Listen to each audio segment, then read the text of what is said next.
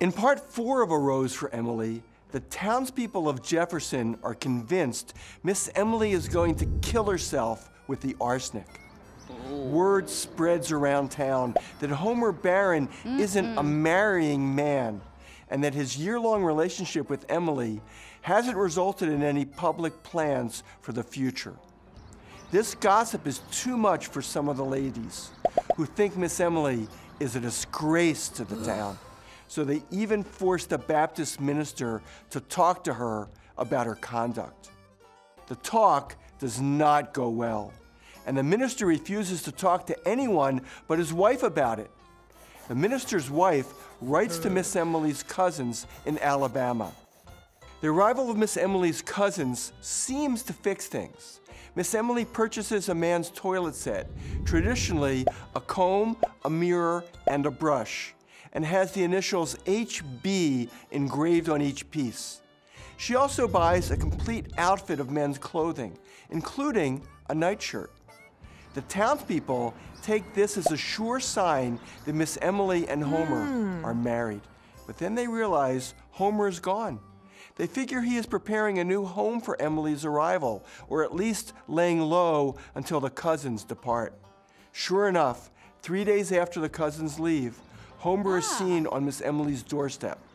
However, he is never seen again. And Miss Emily also seems to have disappeared. When she finally emerges six months later, she is overweight and her hair has started to turn gray. A few years later, she offers children's china painting classes at her home to the daughters and granddaughters of Colonel Sartoris's contemporaries.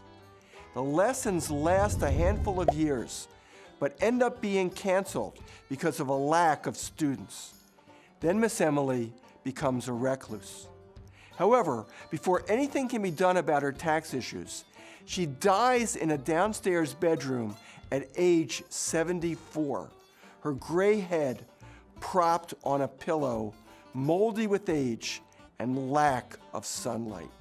The townspeople of Jefferson are sympathetic to Miss Emily's plight as they understand the stress and loss of reputation associated with spinsterhood. Yet instead of offering to accept her the way she is, they collectively decide it would be the best thing if she killed herself. This may seem barbaric to today's reader, but in the 19th century, suicide was one of the more acceptable means of reclaiming one's dignity after being labeled fallen. The narrator dances around the reason Homer won't marry Miss Emily. The narrator tells us it was known that he drank with the younger men in the Elks Club. And Homer himself said that he liked men.